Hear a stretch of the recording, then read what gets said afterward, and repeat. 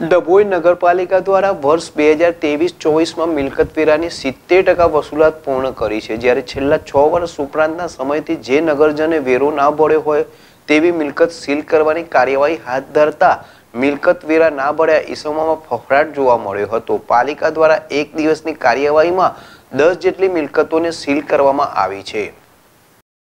ડભોઈ નગરપાલિકા મિલકત વેરા ન ભરાતા નગરજનો સામે લાલ આંખ કરવાનો પ્રારંભ કર્યો છે.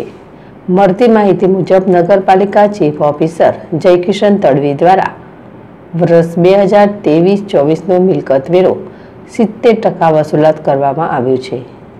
એકત્રીસ માર્ચ પહેલાં કામગીરી પૂર્ણ કરવાની હોય તેવામાં છેલ્લા છથી સાત વર્ષ ઉપરાંતનો સમય તે પચાસ ઉપરાંત લોકોએ મિલકત વેરો ભર્યો ન હોય અને વીસ હજારથી પચીસ હજાર સુધીની વેરાની રકમ બાકી રાખી હોય તેવા ઈસમોને નોટિસ આપવા છતાં કોઈ પ્રતિક્રિયા મિલકત માલિકો દ્વારા આપવામાં ન આવતા આજે પાલિકા કર્મચારીઓ મહેશભાઈ એચ વસાવા, મહેશભાઈ કે વસાવા, હિમાંશુ દેસાઈ, શિવમ તડવી, આકાશ મિસ્ત્રી, શુભમ ધુબી, દર્શન પૂઠવા જુદી જુદી ટીમ બનાવી જુદા જુદા વિસ્તારોમાં દસ ઉપરાંત મિલકત સીલ કરવા કાર્યવાહી હાથ ધરવામાં આવી હતી. જેના પગલે મિલકત વેરો ન ભરાતા ઈસમો ફફડાટ વાપ્યો હતો.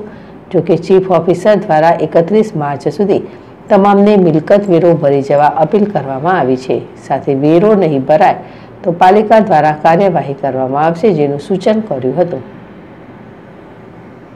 Vijay Barot JS TV, Dabhoi. Dabhoi નગરપાલિકા દ્વારા હાલ વર્ષ બે હજાર ત્રેવીસ ચોવીસના વેરા વસૂલાતની કામગીરી ચાલુમાં છે. હાલની પરિસ્થિતિ પર જોતા ડભોઈ નગરપાલિકા દ્વારા કુલ સિત્તેર ટકા વસૂલાત કરવામાં આવેલી છે અને અન્ય કાર્યવાહી પણ શરૂમાં છે. જેની અંતર્ગત સીલ મારવાની કાર્યવાહી, પાણીના જોડાણ કટ કરવાની કાર્યવાહી અને ગટરના જોડાણ કટ કરવાની કાર્યવાહી પણ હાથ ધરવામાં આવેલ છે. વધુમાં અત્યાર સુધીમાં હાલ પૂરતી આઠ પ્રોપર્ટીને સીલ કરવામાં આવી છે અને આજની યાદીમાં દસ પ્રોપર્ટીને સીલ કરવાનું આયોજન કરવામાં આવેલ છે.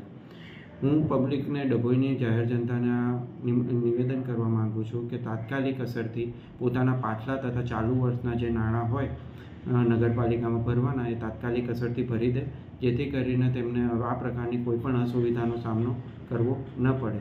અને જે કાર્યવાહી હાલ ચાલુમાં છે, એ વર્ષ બદલાતા પણ શરૂ જ રહેવાની છે, જેની પણ એ ગંભીર નોંધ લેવાનું મારો આગ્રહ